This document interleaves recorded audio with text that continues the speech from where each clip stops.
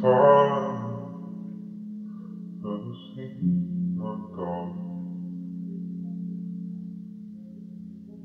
Hope you find these things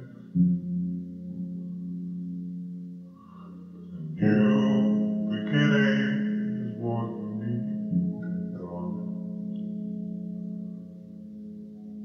Decide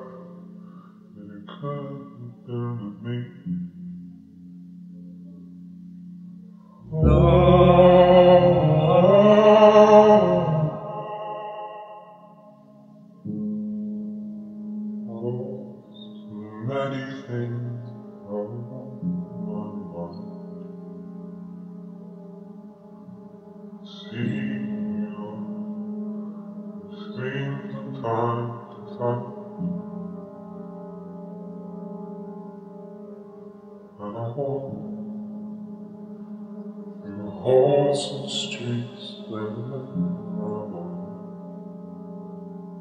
So we now start to feel the same. Oh,